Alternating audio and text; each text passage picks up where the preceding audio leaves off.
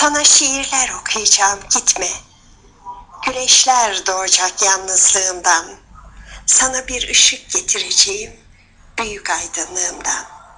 Sana bir dolu umut getireceğim küçük ellerine sığmayacak. Sana Afrika gecelerini getireceğim sımsıcak. İyi geceler.